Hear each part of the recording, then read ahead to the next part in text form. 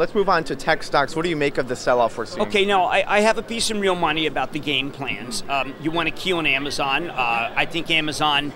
I'm not going to say whether Amazon's going to hold or not. I don't want to do that. I'm going to say if you see it hold. This is very different. One of the things I've learned in sell-offs is that you have to let the buyers and sellers tell you what to do.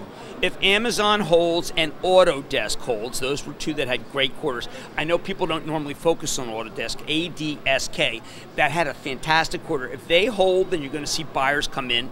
Lam Research had a great quarter. If that holds, you're going to see buyers come in. So you want to key on those. You don't to key on Facebook or Apple. Apple had that key downgrade last night. You don't want to key on Netflix because that stock has run a great deal.